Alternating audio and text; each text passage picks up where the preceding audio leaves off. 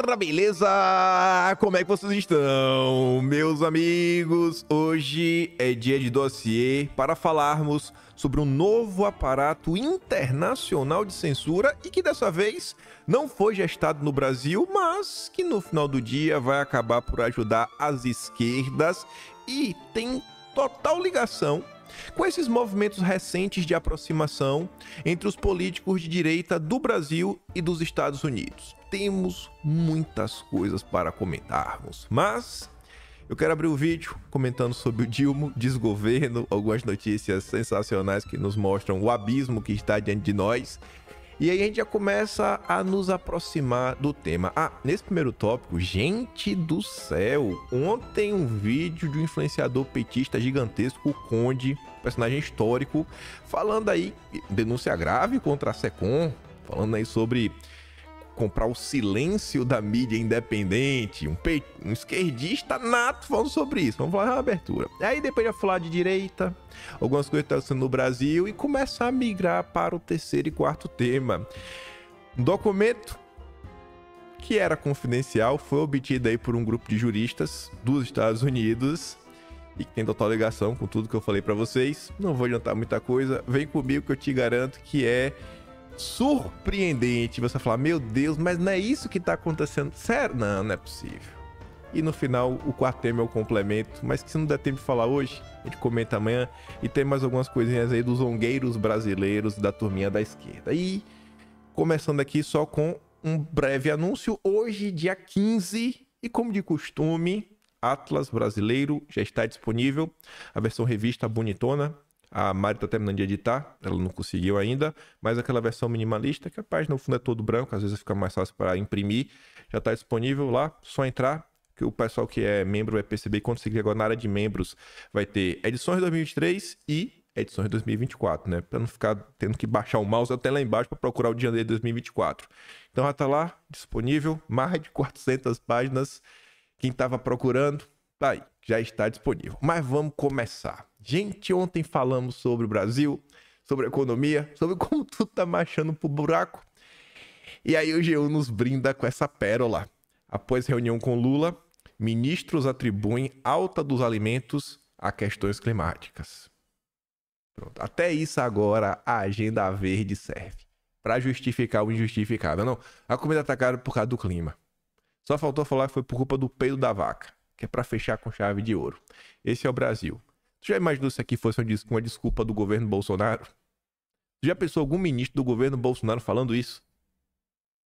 A boa vontade da imprensa com Lula é um negócio que tem explicação. Tem explicação, tem. A gente vai chegar lá. Vou deixar um peitista explicar.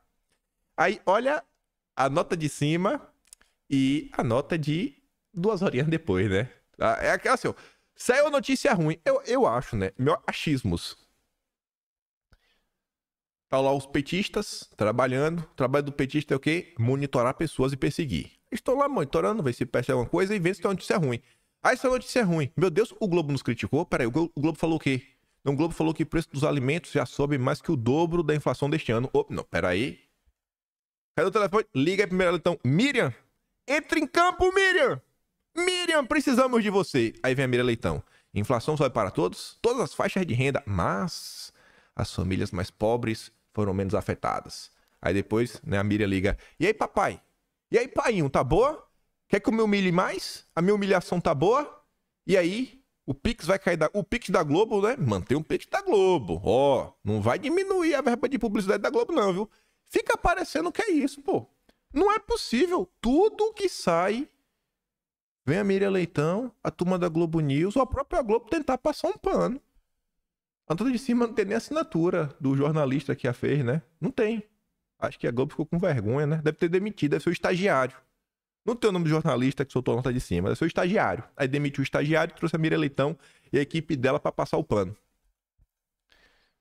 Enquanto isso, mundo real. Essa aqui também a Globo só republicou, nota da Reuters. Rede de supermercados Dia vai fechar 343 lojas no Brasil e concentrar operações em São Paulo. Senão tá tudo muito bem, né? Não, vamos fechar aqui as lojas. Tá, tá tudo indo muito bem. O Brasil tá voando. Pedidos de seguro-desemprego crescem no primeiro bimestre e atingem maior número em nove anos. O Brasil tá voando, gente. Voando, voando, voando, voando, voando. Aí você sai dessa questão econômica, você vai para a segurança pública. Horas, horas, nem dias, horas após saidinha, homem é preso por violentar uma menor desacordada. Homem condenado por substâncias, que deve ser biruta, e deixou a cadeia na última terça para a saidinha, foi preso flagrante horas depois, né, por abusar menina de 17 anos que estava desacordada. E o pior, o suspeito de 34 anos teria cometido o crime acompanhado do filho de 16. Mas você vai falar de acabar com a saidinha, você é atacado pelos petistas. É que eu trouxe só porque. Duas coisas. Primeiro, que. É, minha cidade, né? Minha cidade natal, Feira de Santana, nona cidade mais violenta do Brasil em 2022. é isso aí, Ferences. Tamo junto. E segundo ponto, sabe aquelas perguntas que movem o mundo? Semana passada a gente comentou sobre os zongueiros e aqueles zongueiros, né, alinhados a ONGs globalistas, que queriam levar lá, né, foram, queria não, foram denunciar o Tarcísio na ONU, e o Tarcísio falou, eu não tô nem aí, tô do lado da polícia. Veja que engraçado, 50 cidades mais violentas do Brasil em 2022. Não tem nenhuma cidade, nenhuma cidade do estado de São Paulo. E esse foi o comentário que o Vilimigo fez, ó. Nenhuma de São Paulo por que a tal denúncia da ONU? As entidades não estão preocupadas com as regiões mais violentas. Né? Eles estão preocupados em desmantelar a polícia. Talvez para São Paulo ficar tão violento quanto Feira de Santana. Você vê como são as coisas? Os números. Os números mostram né, toda a hipocrisia da esquerda no Brasil e dos zongueiros. Aí ontem, completou-se o primeiro mês. Né? O já fez mensário. Coisa de rico, né? Rico gosta de fazer mensário. Primeiro mensário da fuga de Mossoró, né? Fuga de Mossoró completa um mês com falhas e disputa na busca por criminosos. Aí, engraçado. Eu terminei o vídeo ontem, fui no Twitter, né? Postar o vídeo. Aí eu tô passando assim, apareceu essa sugestão aqui desse tweet da Globo News. Li assim umas duas, três vezes. Falei, rapaz, será que eu sou meio burro? Ou será que eu tô. Será, será que não sou eu que tô entendendo errado? Eu li, li e falei, não, não é possível, não. Eu acho que eu tô entendendo certo. Um mês, ó, os caras fugiram tem um mês e não foram encontrados. Um mês! Fez aniversário, mensário. Aí o nosso ministro da Justiça e Segurança Pública, Ricardo Lewandowski, disse que é uma operação que está se desenvolvendo até o momento com êxito. Eu achava que o êxito é quando você pega o bandido. O bandido tá fugindo até um mês. Então, não sei se êxito é uma palavra que se encaixa muito bem, né? Mas talvez eu seja o burro que tá sem entender. E graças a Deus, né? Temos aqui a Globo News para passar aquele pano. Graças a Deus temos a Globo News para passar aquele pano, né? É, é inacreditável. Aí falando de Globo News, gente, teve a festa de aniversário de Seu. Eu não sei se o aniversário de Seu foi dia 13 e coisa. Foi dia 13, dia do PT, né? Ontem, 14 de março, eu acho que foi ontem. É o dia do falecimento do Marx. Né? Completou, inclusive, também 5 anos do inquérito das fake news. Aí olha quem tava na festa do Disseu. A nossa gloriosa Helene Cantanhede da Globo News. O Ives Adriano Bolsonaro fala até assim, ó. Helene Cantanhede vive acusando Bolsonaro de corrupção nos jornais da Globo. Foi comemorar ontem o aniversário do Disseu. Helene criticava o orçamento secreto, mas louva a vida, né? Do cara lá que estava na época do mensalão. Com vocês, a cara de pau da jornalista global. Aí ele fala assim, ó. Para os fãs da Globo, que dizem que a Eliane não foi à festa, a foto completa. Disseu recebe lira, Eliane janta ao lado. Contra fatos, não há argumento. Aí você vê, né, como anda a imprensa, a relação imprensa e governo. Só que aí é, é ainda melhor, é ainda melhor. Esse rapaz aqui de Toquinha é o Conde. Cara grande aí que roda, ele tem um canal próprio dele, tá sempre no Brasil 247, GN, Fórum, é figurinha carimbada da esquerda, é um influencer de esquerda.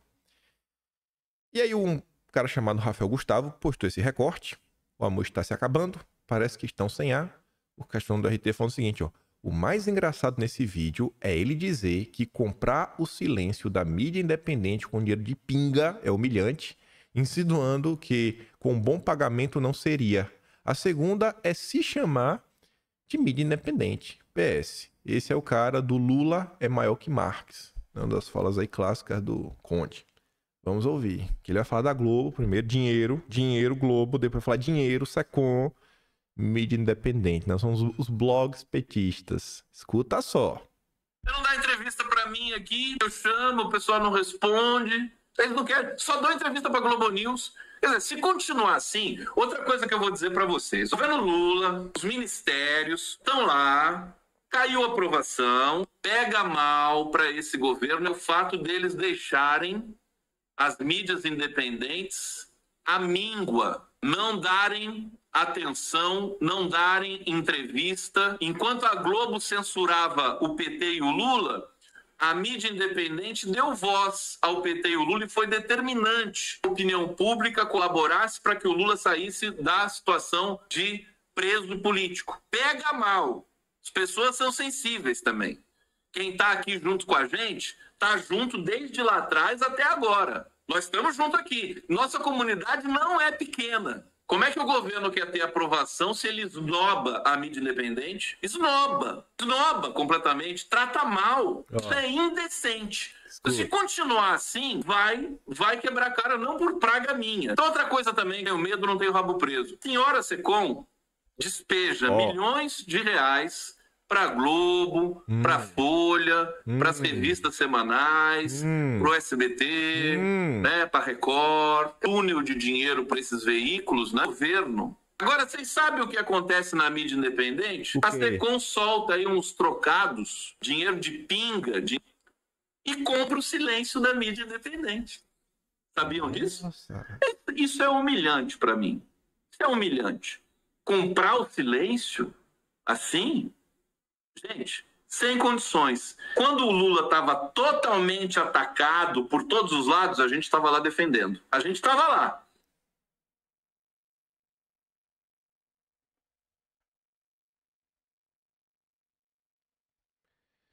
Que coisa, hein? Secom comprando o silêncio da mídia independente. O que, que a mídia independente não pode falar sobre o Lula, hein? Que a Secom proibiu? É mostrar que o Lula traiu o trabalhador, traiu a esquerda, que o Lula é woke, que o Lula é um vassalo do Biden, tá seguindo toda uma agenda que veio pronto do Partido Democrata, traiu um projeto desenvolvimentista, que sabota a Petrobras, que colocou gueiros que a esquerda fingia combater impostos-chave do seu governo, e a própria Marina Silva, o cara é cabeludo lá do Ibama, que trouxe o Pedro Abramovay já para a equipe de transição, que atualmente é vice-presidente da Open Society do Soros. É? O que mais? O que, que a mídia independente não pode comentar? O que, que, que não pode, né? E engraçado, né? Pra gente é dinheiro de pinga. Rapaz, governo Bolsonaro. O que é, que é mais barato que pinga, né? O que é, que é mais barato que pinga? pinga? Eu acho que pinga é barato, né? Sei lá. Tubaína. Tuba... Bolsonaro gostava de tubaína, né? Eu até ver que esquerda, esquerda direita, né? Esquerda direita, pingue tubaína. Se tivesse pingado no governo Bolsonaro um dinheiro de tubaína na mídia, mídia independente, minha Nossa Senhora. Gente, eu registrei isso em dezembro do ano passado. Tá no Atlas. Se não tiver em dezembro, tá. Eu, com certeza eu registrei, sabe quando? Na treta da. Vocês lembram da treta da Dama do Mal? Aquela mulher casada, com cara de uma facção, que teve umas reuniões lá, né? Lembra dessa treta que o Estadão revelou? Naquele mês, aconteceu muita coisa. E aí, a revista Cruzoé e o Estado e a Folha de São Paulo foi o Estadão, mas foi a Cruzoé com certeza e mais alguém voltaram com a história que, não, as mesmas práticas que o bolsonarismo fazia, né, não sei o quê. E aí os blogs financiados pelo governo fazem isso, faz aquilo outro. E aí eu relembrei uma história que ocorreu em 2020, mostrando que não foi nem dinheiro para tubaína, porque eu acho que eu não sei se dava para comprar tubaína, porque foi menos de 5 reais, foi 4,26, 4,28. Eu relembrei a história, inclusive mostrei o documento oficial do Fábio Coelho, presidente da Google, atestando o valor, os R$ 4,28, que a imprensa basicamente pediu a prisão e o fechamento do Terça Livre, porque teria recebido do governo 1.447 anúncios, R$ reais. E não é que recebeu do governo, né? O governo, fazendo campanha da reforma da Previdência, contratou aí, né, Google Ads, etc., rodou a propaganda, e aí vários sites o antagonista foi um dos sites que basicamente pediu, né? Acusou de lavagem de. Felipe Moura Brasil acusou de lavagem de dinheiro. Dias depois, se descobriu que o antagonista recebeu quase 50 reais, ou seja, 10 vezes mais. Aí o Maynard escreveu uma nota falando que ia proibir, que ia entrar lá e ia proibir que de, ter qualquer propaganda do governo, etc, ia devolver o dinheiro. Tá entendendo a coisa? Então, assim, por 4 reais, acusaram pessoas de direita de lavagem de dinheiro. O cara aqui tá reclamando que tá pouco, é dia de pinga. E ninguém fala nada. Por quê? Porque é de esquerda. Que pode tudo. E a Globo? A Globo tá recebendo a parte dela. A turma da esquerda tal, boca pio, não pode criticar a Globo. Não pode criticar, porque a esquerda chama a Globo de golpista. Todas essas mídias, ó, ó, boca pio, toma dia de pinga. A Globo toma os milhões. E o Brasil segue, firme e forte. Esse vídeo aqui eu acho que ele é tão épico, tão histórico, que até salvei lá no perfil do Atlas. Tem vídeo que às vezes eu salvo lá, porque eu fico pensando, cara, se por alguma razão, né, a conta desse Rafael Gustavo for deletada, por falar alguma besteira, e eu tô mandando na internet, nunca fui penalizado por nada, eu acho que eu conheço os limites, eu falei, cara, tô, tô postando ali o vídeo, né, é pra é registro histórico, registro histórico, para na frente, quando acusar direito de qualquer coisa, a gente puxar esse tipo de vídeo. Aí, pegando até um gancho né, nessas questões. Lewandowski, dia de pinga, silêncio, silêncio dos inocentes. A Elisa colocou aqui duas notícias, uma de 22 e uma de 24, né? Dois anos atrás e agora, que envolve a questão das eleições, do combate às mentiras, fake news. Em 2022, Saía o seguinte, ó, que novo presidente disse que a Anatel não tem competência legal para bloquear sites e aplicativos. O Carlos Baigorre. E agora, o mesmo Baigorre diz que a Anatel usará poder de polícia contra fake news na eleição. E Elisa pergunta, o que será que mudou? Eu não sei. Não sei o que mudou. Não sei o que mudou. Talvez, né, nesses dois anos, a agência se aprimorou, porque ele falou assim, ó, segundo ele, a agência ah, dispõe de mecanismos de atuação elaborados no século passado. Então, nesses dois anos aí pode ter resolvido, né? Até agora tem novos, novos equipamentos. Mas é no mínimo curioso. E aí eu queria trazer essa notícia aqui, e até o tweet que originou essa notícia, porque a mesma imprensa que faria um escândalo, um escândalo, se a direita tivesse recebendo dinheiro, a imprensa que faria um escândalo se um influenciador bolsonarista, porque não tem jornalista, no máximo blogueiro, ele agora, agora não é influenciador, comunicador. O influenciador bolsonarista reclamasse, Bolsonaro é dia de tubaína, é dia de tubaína, rapaz. Para comprar o meu silêncio, a sua secom dentro dia de tubaína. Se tivesse isso, ia ser um caos no país, prisões, etc. É a mesma imprensa que se isso daqui tivesse acontecendo Contra qualquer político de esquerda, o Brasil tinha parado. Parado. Carlos Bolsonaro registra boletim de ocorrência por ameaça né, de um cara falando vou tirar sua vida na Câmara Municipal do Rio de Janeiro. Saiu uma nota, só isso, nenhuma repercussão a mais. Se a pessoa fosse qualquer outra pessoa de esquerda. Então, assim, é triste. Eu entendo a imprensa querer perseguir. É importante, eles querem o monopólio da informação. Agora, cara, o que, que custa, pelo menos nesse aspecto aqui? Pelo menos aqui, vamos, vamos pelo menos, assim, compactuar que na defesa da vida, a gente pode estar do mesmo lado? Sabe? Só dar uma repercussão, tratar como se fosse algo importante. Meses atrás, teve o cara que foi jogar pedra na frente do no gabinete, foi outro cara, agora é esse. Toda hora o novo. O senão tá lá no Rio Grande do Sul, prendendo o cara, tá com a faca. Teve o próprio episódio do Adélio. Então, assim, é dureza, né? É dureza. Quando o Bolsonaro voltou nos Estados Unidos, tiraram os carros blindados. É o tempo todo isso. Mas tá de boa.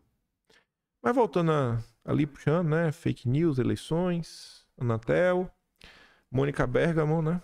Quem que é ela? Nos informa que uma ONG da diversidade, ONGs, na verdade, mais de uma, pediram que o ministro proíba discursos contra crianças T nas eleições. Aí eu fico perguntando, o que, que seria esse discurso contra? Aí a matéria da Mônica Bergamo deixa claro. Aí eu fico pensando, rapaz, será que isso aqui vai ser fake news? Será que o que tá ali de azul é fake news? E é por isso que eles estão falando, porque também não é só fake news, né? Fake news, discurso de ódio, discursos antidemocráticos. Ele está falando, ó, o ofício reúne uma série de manifestações de políticos com discurso contra a população, né? Especialmente vindo de parlamentares alinhados ao ex-presidente Jair Bolsonaro, a publicações dos deputados Eduardo Bolsonaro, Mário Frias, Messias Donato, que afirmam que crianças não existem. Isso é, isso é fake news, discurso de ódio? Não sei, né? Mas já estão pedindo. O Brasil está caminhando a passos largos para uma região Bem complicada, bem complicada. Proibição atrás de proibição.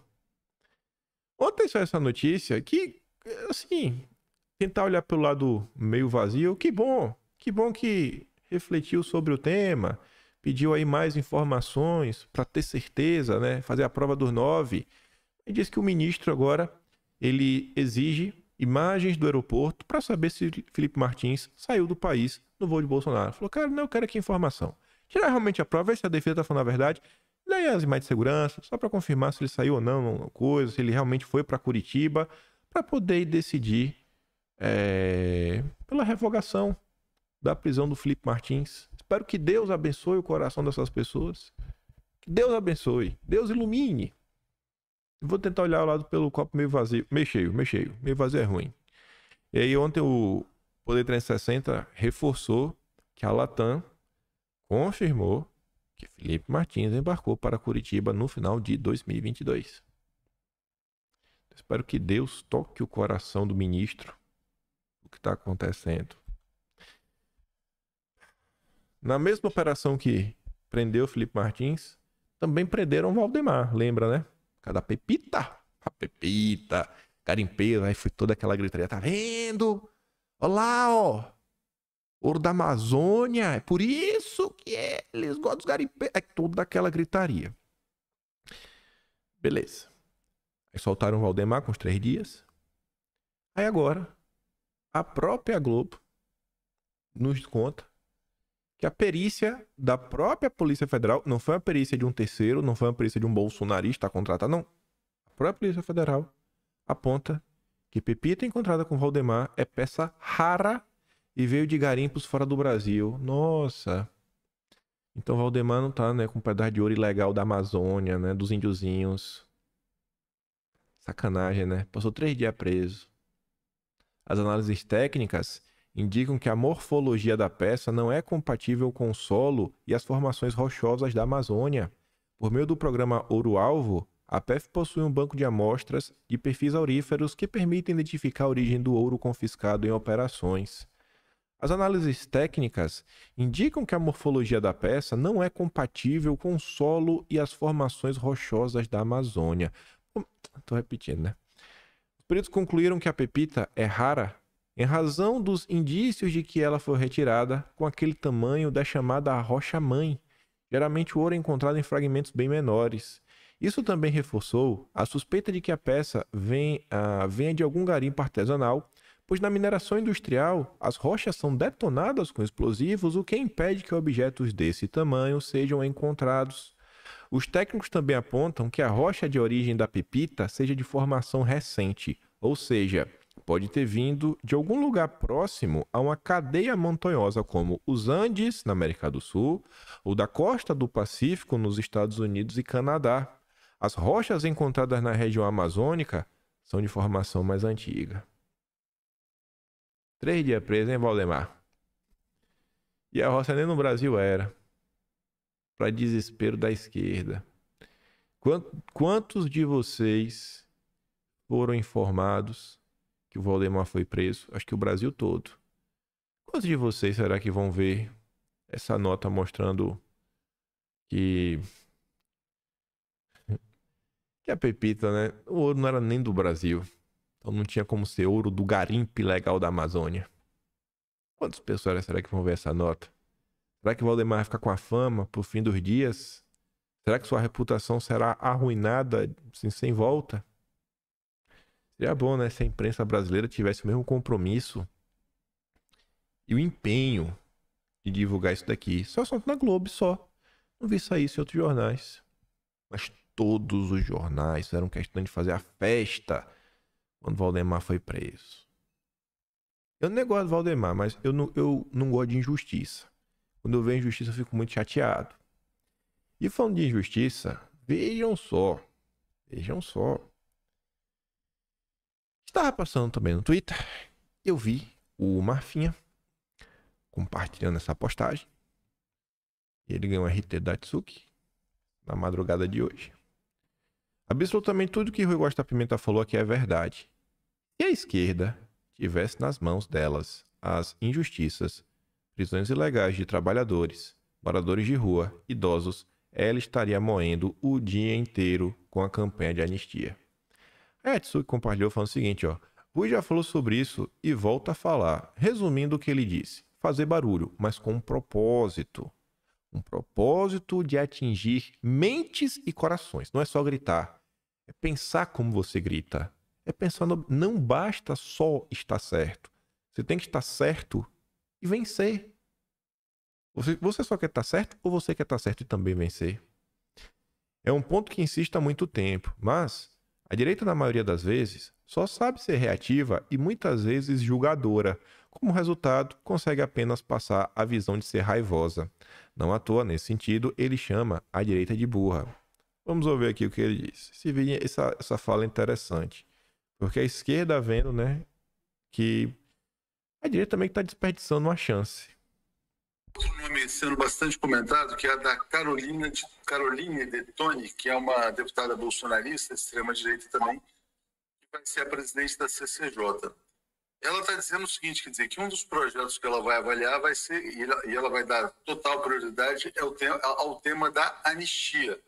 Seja anistia ao 8 de janeiro ou anistia ao próprio Bolsonaro, caso ele seja condenado.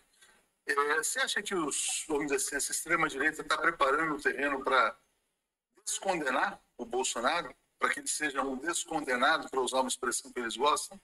Com toda certeza. E eles têm, e eles têm a faca e o queijo na mão, sabe por quê? Por causa da condenação daqueles pobres coitados do dia 8 de janeiro. Isso daí você não convence ninguém é uma coisa justa de se fazer. Agora, a direita tem mais miolo do que a esquerda, porque se eu fosse de direita, eu pegaria esse tema aí, anistia para os pobres coitados. Mostraria o cara que foi vendedor ambulante, que estava lá, que não quebrou nada ele mesmo. Foi condenado por conspiração armada, golpe de Estado e tal. É que a direita, a nossa sorte até aqui é que a direita é ruim de jogo também. Eles têm, eles fazem algumas coisas bem feitas, mas eles ainda não, não aprenderam a fazer política de uma maneira mais evoluída. Vamos ver o que eles fazem com essa campanha. Mas eu vou te falar, na minha mão essa campanha, se eu tivesse os recursos da direita, fazia barba e cabelo, viu?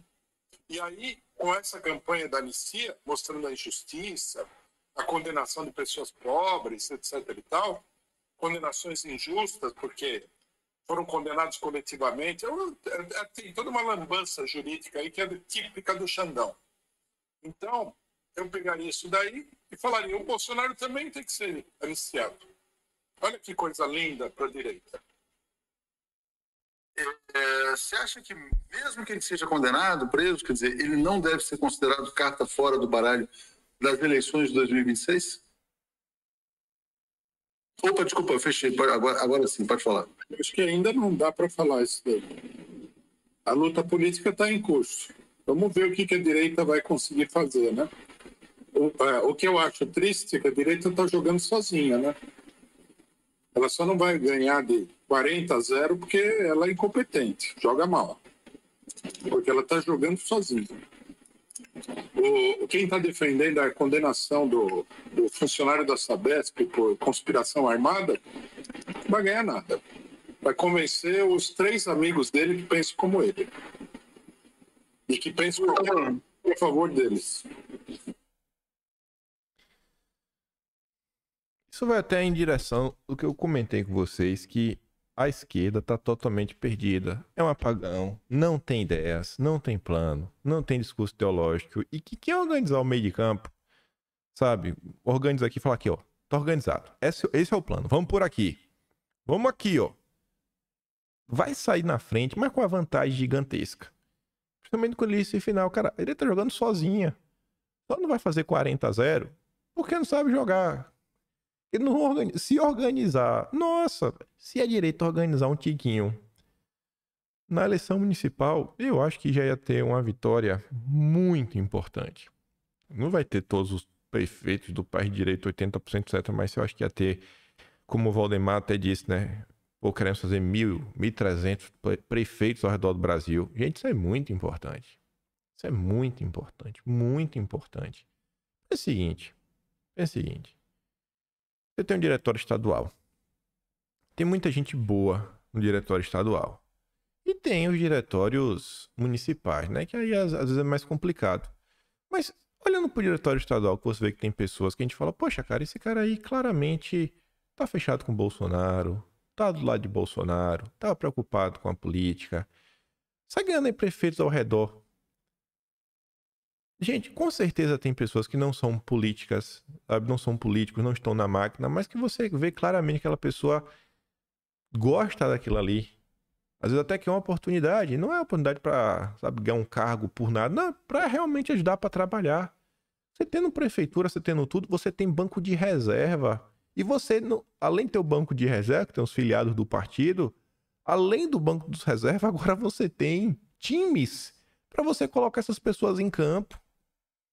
Então é importante, sabe, trabalhar realmente para criar essas bases, a gente fala tanto de base, ocupar espaço na máquina. Se a coisa organizar, sabe, cada um pegar um pedacinho. Se cada um pegar um pedacinho, um tema, os nossos políticos. Não, esse tema aqui é o, é o meu. Meu grupo aqui de cinco. Esse outro tema é vocês.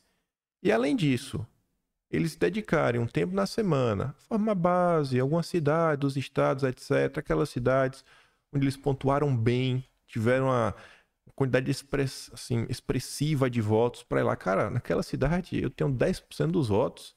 Eu vou procurar. As... E olha só, diferente da esquerda, eu tô falando de frente porque eu acho que é diferente. Eu vejo que muito do voto da direita, principalmente para deputado, porque se você olha a quantidade de votos que Bolsonaro teve, a quantidade de votos que os deputados teve, a diferença é muito grande. Se Bolsonaro se os deputados de direita, se o PL tivesse tido a mesma quantidade de votos que Bolsonaro teve, meu amigo, o PL tinha 200 deputados. Tinha mais de 200, uns 300, mas não teve. E o que eu quero falar com isso? O cara que votou na direita, principalmente ele votou sabendo. O voto deputado é um voto que o cara realmente tá sabendo o que tá fazendo, muito mais que o presidente. O presidente é Lula e Bolsonaro, é o assunto todo dia que tá aí. Mas o deputado não. Tem vários ele vai lá no teu voto. Então o cara que votou no deputado da direita, ele está muito convicto de quem está votando. Então a probabilidade dele acompanhar o deputado que ele votou e ver os direcionamentos que o deputado dele está indo, eu acho que são muito grandes as chances de da transferência de votos. Você pega, gente, eu mostrei para vocês, não sei se foi em dezembro ou coisa, fazendo lá né, um estudo, mostrando para pessoal, olha só, eu peguei aquele caso da invasão da Lesp da UP, falar do limão, vamos fazer uma limonada, mostrar o que, que a turma da UP estava querendo com aquela confusão. E eu mostrando, olha, a quantidade de votos que essa mulher teve, o que estão fazendo, estão mirando agora a prefeitura.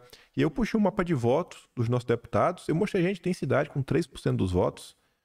Você está eleito, prefeito. E eu mostrei, ó, tem um deputado nosso que Em mais de 250 cidades tem 10%. Em mais de 50% das cidades. É muito expressivo. É muito expressivo. É muito expressivo. E o deputado tipo de vereador, né? Você escolheu entre vários. Então, assim, tem a faca e o queijo na mão. Fora o discurso. O discurso podia ser muito melhor se também tivesse um direcionamento. E se a direita também achasse que tem, parasse para tentar entender, né? Não ficasse presa no tempo. Se fala tanto de globalismo, globalismo, globalismo, além do comunismo e a agenda globalista também passando, né? Sem nenhum tipo de resistência. Isso me deixa bem chateado.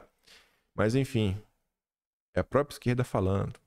Vamos tentar chegar no coração das pessoas. Vamos tentar chegar, romper barreiras. Precisamos de mais votos. Mas eu, eu acho que a gente precisa de mais. E eu quero trazer novas pessoas para a direita. Na esteira dessa discussão aí, essa nota aqui na, no Estadão. Rui Falcão diz que PT se distanciou do cotidiano, do país e passou a fazer política a cada dois anos. Você vai falar que é mentira? O PT não quer saber do povo mais, tá bem claro. Para ele, o partido passou a fazer política a cada dois anos, disputa eleição e depois reflui. A pressão no bairro, na comunidade, na igreja, no sindicato, discussão política permanente, formação dos jovens, tudo isso a gente foi deixando de lado. Em detrimento disso, cada vez mais a participação exclusivamente institucional. É uma oportunidade que a direita tem. Aí, ainda nessa entrevista que o Rui Facão deu ao Poder 360, ao ser questionado sobre a presença da esquerda nas ruas, o deputado afirmou que é preciso fazer uma disputa também dos nossos valores, das nossas ideias, ao comparar com o movimento da oposição. A direita está pondo debate da anistia, exatamente o que o Rui Costa Pimenta falou, mas tendo avaliado de que isso não vai ser obtido nesse momento, mas está fazendo disputa. Nas eleições de 24, Falcão disse que um grupo de trabalho eleitoral do PT ainda está em fase de levantamento, já que não se tem ainda definição em vários estados e de candidaturas. Em São Paulo, a candidatura do Boulos é como se fosse nossa. Uma vitória em São Paulo meio que aparece como uma vitória quase nacional. E é por isso que, independente do outro lado, a não ser que seja Tabata, o que eu acho muito improvável, eu tô do outro lado. 100% anti-Boulos. Estar contra o Boulos é estar contra o Lula. E esse discurso de voto nulo, amigo, é do MBL. Eu não sou hipócrita. Se eu critiquei o MBL, eu também critico esse papo maluco de voto nulo, que não tem como ser pior. E ainda sobre a questão do discurso de anistia, trouxe para vocês um tweet que tava lá uma página grande do Twitter comentando, e o Elon Musk, que eu acho que é o maior perfil do Twitter, realmente acho que é o maior, 127 milhões de seguidores, 130... É muita gente. Elon Musk comentando, fala, meu Deus do céu, o que é que tá acontecendo no Brasil? Agora o jornalista Yamaio Chong, também é um cara bem grande, comentando sobre o tema, e ele ganhou o RT do Matt Schaub, que é o CEO do CIPEC. O CIPEC lá, sabe, aquele evento conservador, o maior evento conservador do mundo. O organizador é o Matt Schaub. Então, assim, tá crescendo. E o pessoal comentando o que tá acontecendo. Gente, meu Deus do céu, bota a mão na consciência. Nos aproximando agora da parte mais interessante. Ontem, Jair Messias Bolsonaro fez uma videocall com Donald Trump. Bolsonaro e Trump conversam por vídeo. Sabe o que falaram? A coluna, Bolsonaro falou com Paulo Capelli. Bolsonaro detalhou a videocall. Foi uma conversa rápida e boa. Boa parte do mundo, assim como eu, torce pela volta dele à Casa Branca. Nos quatro anos dele, o mundo caminhou bem sem problemas, disse referindo-se à escalada de conflitos internacionais. Falamos sobre a expectativa de que as coisas melhorem, sobre o Estado democrático de direito. E aqui é um ponto que eu fico me questionando, né? Rapaz, do que será? Do que será que está falando do Estado democrático de direito, né? Acho que é voltar à ordem. Enfim, sentindo os olhos do Trump, que ele gosta de mim e que eu gosto dele. Concluiu Bolsonaro sobre seu aliado. E aí quem fez a videocall foi o Eduardo, né? Que ele postou uma foto. Eduardo fez um tweet que tem um texto relativamente longo, mas aquelas primeiras palavras do segundo parágrafo, antes do mostrar mais, já dá para entender os pormenores. Eduardo fala assim, ó. Deus nos abençoe com jantar privado e boas horas de conversa. Boas horas de conversa. Ele conversou muita coisa e esses deputados estão com a agenda debaixo do braço, pelo menos isso, graças a Deus. Certamente, Trump está ciente do que se passa no Brasil e se é uma característica forte nele, é a sua coragem. Está falando né, do que está acontecendo. Eu não defendo nenhum tipo de interferência internacional nem nada. Agora sim, se o Trump quiser dar uma ajudinha, não é interferir no Brasil. E é uma coisa que eu já disse para vocês mil uma vez, eu até deixei um comentário com o Eduardo, eu falei, peça para ele retirar a USAID do Brasil. É o mínimo que ele poderia fazer pelo bem de todos. A agência do governo norte-americano só faz financiar angueiros e pautas antinacionais. Ele faria um gol de placa contra. E é aqui que a gente começa, inclusive, a nos aprofundar em nosso dossiê. Gente, juro para vocês de coração. Quando eu fiz esse tweet, eu não tinha visto ainda o tweet que eu vou mostrar para vocês.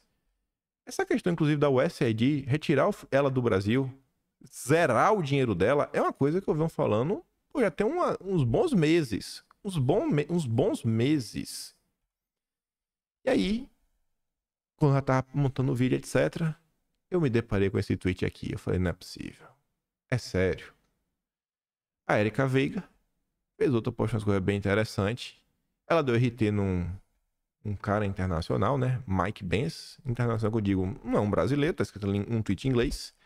E ela falando estratégia da USAID, entre parênteses para o estabelecimento de mecanismos de censura da internet mundo afora.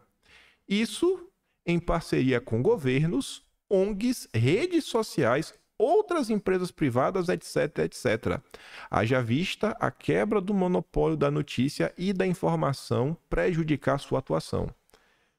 Esse final, não sei se ficou claro, a USAID ela quer censurar porque ela está percebendo que porque as pessoas comuns agora têm voz, a coisa está mais difícil para os planos da USAID serem colocadas em prática.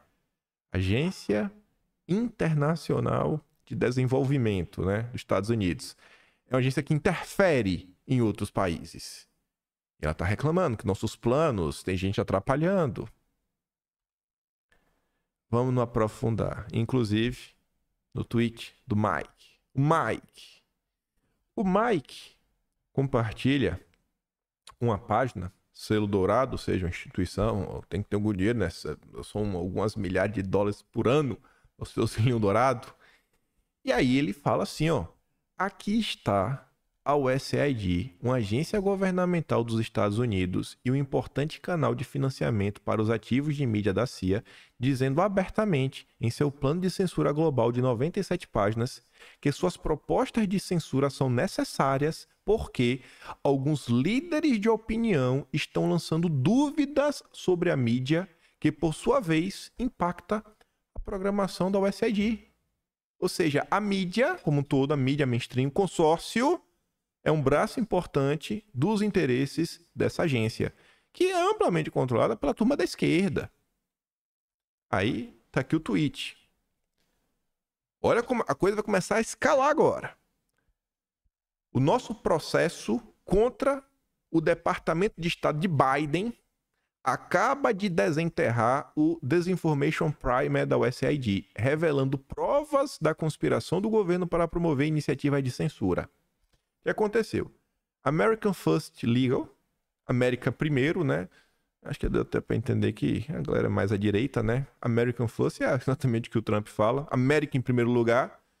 A galera de direita processou o governo. Nesse processo, eles tiveram acesso a um documento que era secreto. Um documento que era secreto. De uma agência que interfere em outros países. Censura a nível internacional e que quer promover planos. Você vê que tem alguns planos que o Partido Democrata, toda a agenda identitária, agenda verde, que ela está avançando em vários países, né, que a esquerda voltou. E aí você vê, inclusive, né, como a USAID teve um papel importante, defender a democracia no Brasil, fazer o contato entre as ONGs os políticos, né, tá lá na Amazônia, sempre financiando coisa errada. Eles operam muito no Brasil, muito no Brasil. Esse tweet ganhou, inclusive, a atenção do Elon Musk. Aí ele, ó, uou, uou. Pois é, né, Musk? Musk tá ligado no que tá acontecendo. Musk tá ligado no que tá acontecendo. E aí, gente, atualmente a USAID ela está sendo inclusive chefiada por uma mulher chamada Samantha, que ela é opositora ferrenha do Trump. Tem comentários, a galera meio que já deu um expose nela no passado. A gente está diante de um grupo que faz campanha ativa contra o Trump, tenta censurar pessoas de direita, não só nos Estados Unidos, como no mundo. E você tem talvez um momento de você, se os nossos deputados quiserem, né? Eu acho que seria uma baita iniciativa. Eu acho que viria somar. Eu acho que se eu fosse o Trump, eu gostaria desse tipo de ajuda. É você pegar, você monta um relatório das confusões que a USAID, né, já meteu o B dele no Brasil. E aí você leva para lá, você pode pegar lá, você pode pegar outros países, na América Latina conhece, países na Europa, que tem a galera de direita lá, falou, oh, e aí, o que, que o USAID tá fazendo contra vocês? Como é que ele tá censurando vocês? Você ajuda a fortalecer esses vínculos, esses laços, até, até fortalecer o discurso do de lá, né? E quem sabe eles realmente entendam que, pô, não, realmente, o Brasil, vou assumir o governo, primeira coisa que eu vou fazer é tirar essa gente de lá. Já vou começar cortando o dinheirinho das ONGs e das mídias no Brasil. Veja como são as coisas. E vamos ver se isso é semelhante a algumas coisas que aconteceram no Brasil, que estão acontecendo neste exato momento, inclusive se algumas ideias e falas. Tem algumas falas que eu falo, rapaz, eu, eu já ouvi essa fala nos últimos dias no Brasil. Fundação pela Liberdade Online. Documentos internos da USAID revelam conspiração do governo para promover iniciativas de censura. E você não vê a prioridade que o Biden deu. Lembra a prioridade do governo Lula. Isso aqui saiu ontem. Ontem, fresquinho. A USAID, braço do governo federal, voltado para o exterior, que pretende usar o dinheiro dos contribuintes para fortalecer sociedades democráticas, resilientes, fortalecer a democracia e exportar os ideais democráticos americanos para o exterior, tem pressionado silenciosamente empresas de tecnologia do setor privado, organizações de mídia, ministérios da educação, governos nacionais e financiadores órgãos a adotarem práticas de censura nas redes sociais de acordo com documentos internos recentemente revelados. O Disinformation Primer, de propriedade da USAID de 97 páginas, rotulado como somente para uso interno, era um documento classificado, né, confidencial, foi obtido pela American First Legal, um escritório de advocacia de interesse público que conduz uma série de investigações e ações judiciais importantes sobre a indústria da censura e suas agências parceiras governamentais. Isso foi após um longo processo que o Departamento de Estado dos Estados Unidos não respondeu a um pedido da Lei de Liberdade de Informação e foi obrigado a entregar documentos depois que a FL obteve sucesso em uma ação judicial formal. Após vencer na justiça, tiveram acesso a esse documento sigiloso. A cartilha sobre desinformação revela uma compilação detalhada da defesa da agência de algumas das estratégias de censura mais prejudiciais economicamente, muitas das quais foram implementadas na América para estrangular os populistas nas eleições de 2020 e depois. Quando tá falando de populista, tá falando assim de que recebe apoio do povo, né? Eles não. Eu acho que eles não estão tentando se. Estão tentando falar que são independentes, né? Mas como é grupo de direita, eles estão falando as estratégias que foram utilizadas contra o Trump e seus aliados. E esse relatório endossa recomendações de algumas das mais controversas indústrias de censura e instituições sob o escrutínio do Congresso dos Estados Unidos. Aqui está o documento, né, um exemplo, para apenas para uso interno, está aqui em cima, né? E agora que é, foi tornado público aqui, ó, unclassified. Né? Foi desclassificado, né? não é mais confidencial. Tá aí, ó, o SID, Disinformation Prime, página 44. O que a companhia de tecnologia pode fazer, o que os governos podem fazer, o que a mídia pode fazer, o que a sociedade civil pode fazer, né, as ONGs, o que os ministros da educação podem fazer, o que os organismos, os financiadores, né, os fundos, o que, é que os fundos podem fazer. Aqui é forma um, diagramazinho, né? Bonitinho. A cartilha sobre desinformação, que descreve suas estratégias de promoção da censura, é datada de fevereiro de 2021. O primeiro mês após a posse do Biden, após as eleições. O cara tomou posse um mês depois, ele começou a mudar, fazer a limpa nas instituições, tipo que a esquerda fez no Brasil, e já produziu isso. Quando o governo Dilma começou, não teve também, né, a procuradoria, uma PGR da democracia? Não teve isso? Ficou na AGU, né? Uma procuradoria de defesa da democracia se não me engano, teve aquele caso da barra. Você lembra do caso das barragens? Alexandre Garcia, né? Lembra desse caso? Como é que anda a memória de vocês? Bem similar, né? Bem similar, né? O governo começou, vamos censurar o inimigo. Que aí, como a esquerda vê a oposição, inimigo. Propõe itens de ação de censura para que praticamente todos os atores comerciais governamentais, não governamentais e do setor privado em toda a sociedade Tomem medidas individuais e coletivas contra o discurso desfavorecido online. A cartilha do SAID inclui uma lista de abordagens recomendadas para ONGs a, papapá, né, e grande mídia para tomarem medidas contra o discurso online desfavorecido, o discurso de direita. Uma das recomendações da USAID promove abertamente uma tática bem estabelecida da indústria da censura, que é a inclusão de uma lista negra a cartilha sobre desinformação faz referência a anunciantes 31 vezes em apenas 97 páginas. Desde 2020, surgiu no Brasil um grupo, né? Que é um braço de um grupo que surgiu originalmente nos Estados Unidos, que cobra os anunciantes, né? Os, anunciantes que fazem propaganda em grupos ligados a mentiras, fake news. Tem isso na gente. Abaixo, por exemplo, encontra-se a descrição de uma recomendação que apela à divulgação do anunciante do Disinformation Primer, na qual a SID incentiva o estrangulamento financeiro dos meios de comunicação desfavorecidos pelas agências, na página 51.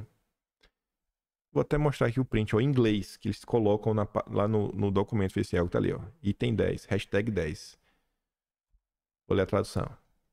Alcance do anunciante para interromper o financiamento e o incentivo financeiro à desinformação, a atenção também se voltou para a indústria da publicidade, especialmente com a publicidade online. Estrangule o financiamento da oposição, da direita. Aí ele dá alguns exemplos. Assim, cortar este apoio financeiro encontrado no espaço da tecnologia publicitário impediria os intervenientes da desinformação de espalharem mensagens online? Têm sido feitos esforços para informar os anunciantes sobre os seus riscos, tais como a ameaça à segurança da marca ao serem colocadas junto a conteúdos censuráveis, através da realização de pesquisas e avaliações de conteúdo de meios de comunicação online. Você já viram esse método no Brasil? Vocês já viram esse método no Brasil? 2021. Além disso, com estes dados, as organizações esperam redirecionar o financiamento para domínios de notícia de maior qualidade. Tire dos portais da direita e bote o dinheiro na esquerda. Bote ali. Melhorar os ambientes regulamentares e de mercado e apoiar modelos inovadores sustentáveis para aumentar receitas e alcance. Bota o dinheiro na esquerda, tira da direita. Isso aqui está funcionando desde fevereiro. Esse lobby está funcionando desde fevereiro de 2021. Olha a capa. Eu vou mostrar mais, mas olha a capa do documento. Um punho cerrado. Tem um grupo, né, que lembra esse punho cerrado no Brasil também, né? Esse, esse, além de ser uma marca da esquerda, né, o, punho. Tem uns, rapaz, tem um negócio que Desde fevereiro de 2021, esse documento já está pronto, rodando, operando. E a USAID não chegou no Brasil no governo Biden. A USAID opera no Brasil há mais de 60 anos. Mais de 60 anos. Por isso que eu digo, Trump, tira do Brasil, Trump. Se só, só tira o dinheiro. Tira. Não tem mais dinheiro. Acabou. Acabou. Limpa. Faz a limpa. Vai, vai ajudar muito no Brasil. Mas como vai ajudar? A partir do Disinformation Primer, a USAID tem como alvo cidadãos que se envolvem em lançar dúvidas sobre os meios de comunicação social. Nos últimos dias, vocês viram alguém reclamando de pessoas que lançam dúvidas sobre. Acho que o próprio Bolsonaro, né? Acho que Bolsonaro aí Bolsonaro, Bolsonaro lançou dúvidas né, sobre o processo democrático. Ah, Bolsonaro. A USAID te pegou, viu? As sociedades democráticas dependem de jornalistas, meios de comunicação e blogueiros para ajudar a moldar o diálogo local e nacional. Se você tem a narrativa certa, né, as coisas avançam. Né, eliminar a corrupção e fornecer informações verdadeiras e precisas que possam informar as pessoas e ajudá-las a tomar decisões necessárias para viver e prosperar. Dado que os sistemas de informação tradicionais estão a falhar, alguns líderes de opinião estão a lançar dúvidas sobre os meios de comunicação social, o que, por sua vez, tem impacto na programação da USAID e nas escolhas de financiamento. Você já viu esse discurso no Brasil? Tá lançando dúvidas. Olha, teorias malucas. É por isso que a gente tem que regulamentar as redes, hein? A USAID vai mais longe, chamando o declínio dos meios de comunicação tradicionais de uma perda de integridade da informação, apresentando o conceito de censura de literacia midiática como a solução, né? Página 15. Isso leva à perda da integridade da informação. As plataformas de notícia online revolucionaram o cenário de mídia tradicional. Os funcionários governamentais e os jornalistas já não são os únicos guardiões da informação. Como tal, os cidadãos necessitam de um novo nível de informação ou literacia midiática para avaliar a veracidade das, das afirmações feitas na internet. A alfabetização midiática é a ideia de formar psicologicamente cidadãos para não confiarem ou acederem a certos tipos de meio de comunicação social desfavorecidos pelo sistema. O Foundation for Freedom Online essa, esse grupo, relatou anteriormente sobre os esforços de literacia midiática nos Estados Unidos, particularmente sua manifestação do sistema educativo. A impressão minha foram primeiro as ONGs, antes mesmo, antes mesmo do PL da Joyce, o 3144, que foi pensado no 2630, porque vendo da Joyce a questão da literacia midiática, né, alfabetização digital em todos os níveis escolares, também é preocupação da galera lá, né? Como as coisas se encaixam. Esquerda 100%. É uma coincidência, né? Eu adoro essas coincidências. Eu adoro essas coincidências. Por isso que eu falei, tu é mais... por isso que eu digo, rapaz, a gente tem algumas oportunidades de trocar experiências, trocar figurinhas, fazer amizades. Não precisa pedir nenhum tipo de interferência no Brasil. Você fortalece o cara lá, pô. Para quando o Brasil tiver, por exemplo, na discussão na ONU, os caras tiverem colocar uma coisa contra o Brasil, vota contra. Sabe, né? Você articula no Congresso Nacional medidas a favor do país, também articula internacionalmente né, para barrar né, iniciativas globais contra o Brasil. E depois você cobra a favor também, né? Falou, irmão, como? É dois aí, né? Essa tarifa contra meu produto. Deixa eu vender meu produto aí, né? Vai, vai sacanear o Brasil depois de toda a ajuda que a gente deu. O que eles estão sofrendo lá é a mesma coisa que fizeram aqui. Mesma, os mesmos agentes. Mesmos agentes. Vocês viram no, nos últimos meses, anos, uma problematização em torno dos memes? Como os me memes se tornaram um problema na política? Pois bem, tá ali, ó. Sátira ou paródia. É um tipo de desinformação.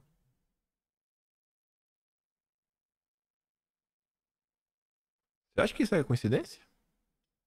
Você acha que essas coisas são coincidência? Numa sessão reveladora do Desinformation Prime, a agência governamental identifica que a principal ameaça de desinformação não são os atores estatais que conduzem ao problema, mas sim as informações problemáticas originam-se mais regularmente de redes de sites alternativos e indivíduos anônimos que criaram seus próprios espaços online de mídia alternativa. Ou seja, a SID vê a ameaça principal como indivíduos comuns online formando opiniões diferentes, e não como agências de inteligência estrangeiras que realizam operações de influência complexas. Ele está falando o seguinte, ó. Eles estão mais preocupados. Eles estão mais preocupados com Dona Maria e as suas colegas do grupo da igreja do que a KGB operando no Brasil. Eles estão mais preocupados com Dona Maria. Dona Maria hoje é um problema maior. É um problema. A Dona Maria é um problema maior. Não, a tia do Zap é um problema maior. A USAID lamenta que tais sites de jogos e painéis de mensagem permitam cidadãos comuns formar interpretação do mundo que diferem das fontes mainstream. Com isto, os indivíduos contribuem com sua própria investigação para a discussão mais ampla, revendo-se e validando-se coletivamente uns aos outros para criar uma experiência populista que justifique molde após suas visões alternativas. Esse texto todo é destaque daquele final ali, ó. Estão preocupados que as do Zap estão chegando nas suas conclusões sozinhas, né? Já não pode, estão botando para frente. Aí você volta pro Brasil agora, o nosso porta-voz da ONU e da OTAN, Jamil Chad, nos informa que plataformas digitais. Olha, olha que manchete descarado, né? Plataformas digitais são cobradas na ONU a garantir integridade de eleições. Você lê a manchete. O que é que você pensa? Que a ONU tá cobrando, né? A ONU, a ONU não tem um respaldo, a ONU tá cobrando, né? Tu, tu pensa nisso, né? O que dá a entender com a manchete. Aí tu vai ler primeiro parágrafo. A Conectas, Direitos Humanos, alerta para o comportamento diferenciado adotado pelas plataformas digitais em diferentes eleições no mundo, dependendo do grau de desenvolvimento dos países ou da língua usada. Numa intervenção nesta quinta, no Conselho de Direitos Humanos da ONU, a entidade pedirá que a relatoria especial da ONU exorte as empresas a investigar igualmente na moderação de conteúdo de todos os países, em todos os idiomas e regiões, e que incentive os estados a adotar medidas para combater a desinformação em contextos eleitorais. A entidade também pedirá à relatoria da ONU que acompanhe a discussão sobre regulamentação da inteligência artificial no Brasil. E sei como é engraçado, né? A Conectas avisa para o Jamil Chad o que eles vão fazer na ONU. Nem aconteceu. Ele não está reportando um fato. Ele está apenas divulgando uma ação que as ONGs nem chegaram a fazer. Ou seja, não é que as plataformas foram cobradas pela ONU. Não. É uma ONG que vai na ONU cobrar as plataformas.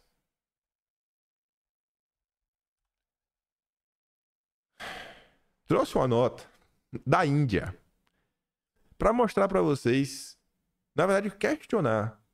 Somos piores que a Índia? Pô, a Índia consegue o Brasil não? Essa notícia aqui é de 16 de setembro de 2021. Governo restringe financiamento de 10 agências estrangeiras a ONGs indianas. A Índia, eu acho que não está muito, muito diferente do Brasil, né? não está muito mais avançado. A Índia, nos últimos anos, o governo tomou medidas contra várias organizações internacionais como Greenpeace, Anistia Internacional, Human Rights Watch, Compassion International e Open Society Foundations, do Soros. O governo da União colocou 10 agências doadoras estrangeiras baseadas nos Estados Unidos, Europa e Austrália na categoria de referência prévia, restringindo qualquer financiamento por parte delas a ONGs indianas ou a indivíduos sem aprovação do Ministério dos Assuntos Internos. Antes de vocês botarem dinheiro no, no, na Índia, oh, oh, não, não, não é assim não, rapaz. Tá, tá, tá maluco, é? Você vai enfiar dinheiro aqui pra quê? Vocês vão enfiar dinheiro aqui pra quê? De acordo com as regras alteradas da FR, FCRA, que foram reforçadas em setembro de 2020, qualquer associação com atividade religiosa, educacional, econômica, cultural e social exige registro da FCRA ou referência prévia do MH, MHA antes de poder receber ou utilizar contribuição estrangeira. Tipo assim, ó, você, ONG, você quer receber dinheiro dos Soros e registre aqui no Ministério. Vem aqui, você bate carinho. Você vai fazer o que com esse dinheiro? Vai fazer o quê? Aí, se o governo autorizar tu receber dinheiro internacional, todas as contribuições estrangeiras para essa entidade deverão ser creditadas numa conta designada pela FCRA e nenhuma outra transação deverá ser permitida nessas contas designadas. De, você receber quanto? Para fazer o quê? Aqui, bana essa conta. Para eu monitorar. Acabou essa parafernália de ficar usando dinheiro para promover desavença no país, para sabotar a nação, para trazer pautas que não são de interesse do povo. Acabou. Soros aqui não. Não faltam exemplos diversos do que essa turma anda fazendo no mundo. Eu trouxe um exemplo de algo que foi feito até na Índia. Para mostrar. Não é um país imponente, gigante, que peitou o sistema. É a Índia. É a Índia. Não foi os comunistas lá do Pai Vermelho. Oh, foi a Rússia. É a Índia. Pelo amor de Deus, né? Acho que esse exemplo é bem palpável para o Brasil. Mas teve um esforço.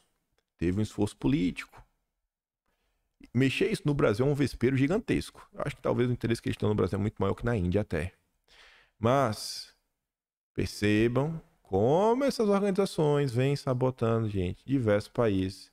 Eu, para mim, fica cada vez mais claro. Ah, com a exploração, com isso, realmente esse, esse ponto aí não, não, tem como negar muito, não.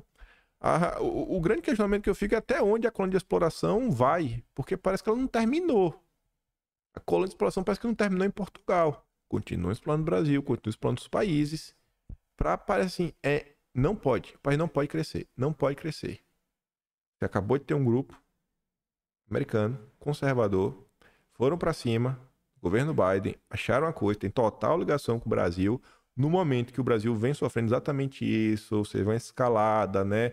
Uma escalada da falta de liberdade, cada vez menos liberdade, menos liberdade, menos liberdade. E você vê, né? A USAID coladinha com o governo Lula, promovendo o Cusco na Amazônia, para indígenas, no português, bababá, patrocinando ONG. Esses dias, o Observatório do Clima, que foi a ONG, que é a junção de ONGs, foi criada em 2006, se não me engano, após a reunião do USAID no Brasil, eles estavam fazendo campanha contra o Trump no, no Twitter. Falando que se o Trump vir, vai aumentar as emissões de carbono. No Brasil, a pegar essa inflação, até campanha contra a tua, irmão, estão fazendo. Cara, não, não precisa se interferir no Brasil, mas pelo menos pare de atrapalhar. Pega esse aparato que está financiando a esquerda no Brasil, corta o financiamento. Corta o financiamento da esquerda no Brasil. Corta. Pss, cortou, acabou. Acabou. Acabou. Tinha muito mais coisa para comentar que iria complementar esse assunto, mas a gente comenta amanhã falar um pouco mais da esquerda, das fundações. Um vídeo é muito interessante de um cara que era fundador do PT, foi um dos responsáveis, um dos, pela coordenação da campanha do Lula em 89. Saiu do PT por desavença, foi pro pessoal, saiu do pessoal por desavença e fala da esquerda, né? Expõe algumas coisas. A gente comenta amanhã. Entrevista interessante, acabei vendo, né? Vocês me forçam a assistir para tentar trazer um conteúdo diferente. A gente comenta e outras coisas, outras coisas que se passam no Brasil. Mas vejam, um aparato internacional. Vejam as ideias. Vem, vem um pacote. Vejam como esse pacote. Se você pegar e ler o documento, eu fiquei dando uma folhada em alguns pontos do documento, sugestões para o governo, né? eu fui dar uma lida. Não me aprofundei aqui, porque eu sabia que não dá tempo. Cara, parece, nossa, parece que o Brasil não teve nenhuma ideia original. Parece que as ideias que estão vindo pro Brasil, não, rapaz, eu já vi. elas, elas se encaixam assim de uma forma sem igual, sem igual, sem igual, sem igual, sem igual. Enfim, vou mandar lá no Telegram o vídeo do Ricardo Pimenta, o do Conde, né? Falando aí do, do Lula. São esses dois vídeos que eu acho que eu dei play hoje. Deixa eu ver. Só esses dois, né? E é isso. Se gostou do meu trabalho, quiser me ajudar um pouquinho mais, passar no meu canal, tem um botão de valeu, tem um peito na descrição e tem o Atlas Brasileiro, onde registramos tudo isso. Para no futuro, pela mente poder lembrar, né? Ou como as coisas deram certo ou como as coisas deram errado. Mas tá aí. Já tá disponível lá de janeiro. Amanhã, a Mari falou que amanhã ou depois terminando a versão revista, aí tá lá, vai ficar lá disponível a versão bonitona, mas aquela versão minimalista já tá no ar. Compartilhe o vídeo. Volta amanhã. E eu te deixo aquele grande beijo, abraço, tamo juntos. Valeu, galera. Fui!